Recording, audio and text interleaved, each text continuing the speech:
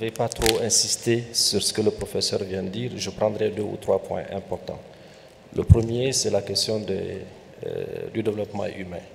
Le développement humain, il est important que nous mettions un accent particulier sur la formation, sur le développement du de, secteur de santé, sur l'employabilité des jeunes. Et tout ça montre clairement qu'il y a des efforts à faire. Le rapport, il a été très bien rédigé.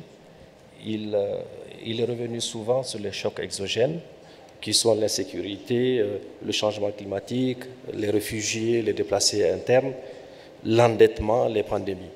Il est important que maintenant on puisse permettre justement à la banque qui doit exécuter ce qu'elle a prévu euh, de, disposer de deux choses importantes. On l'a dit assez souvent, les ressources. Il faut absolument que notre institution dispose des ressources nécessaires pour financer le développement du continent.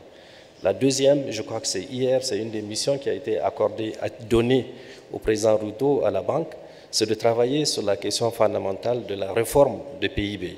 Il faudrait qu'on regarde cela et qu'on revienne pour permettre au continent qui recèle d'énormes potentialités pour qu'il puisse évidemment euh, avoir une bonne capacité d'endettement, une bonne capacité de financement et aller sur le marché comme on l'a assez souvent dit.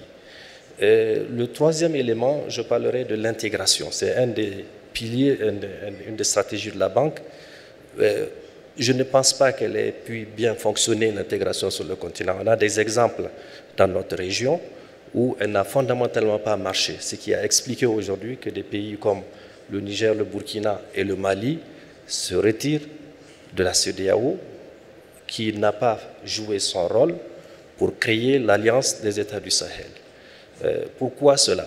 C'est l'objectif qui a conduit à la mutualisation des efforts pour nous défendre, parce qu'on parle de l'insécurité, terrorisme dans la région, mais on n'a pas pu voir cette institution aider ces pays à se défendre.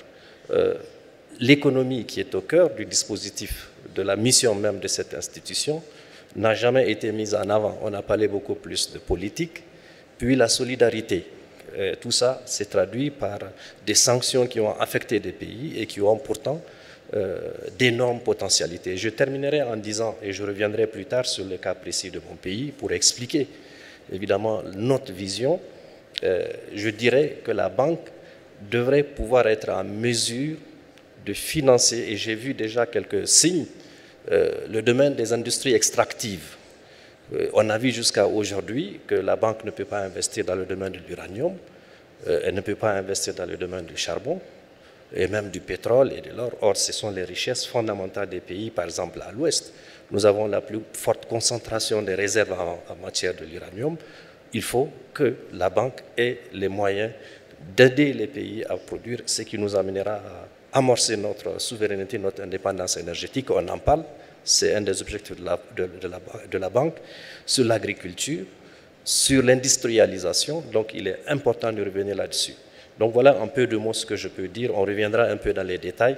On partage le contenu sur la, question sur la bonne gouvernance, etc., sur l'élargissement de la base de prélèvement, donc l'augmentation du niveau de prélèvement.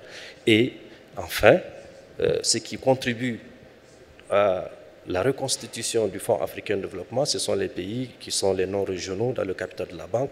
Il ne faut jamais oublier qu'eux-mêmes, c'est à partir des impôts qu'ils collectent de leurs contribuables qu'ils contribuent. Donc il faudrait que sur les continents, que nous travaillions à cette question fondamentale d'élargissement de la base de prélèvement. Voilà, à ce niveau, je m'arrête et on reviendra là-dessus.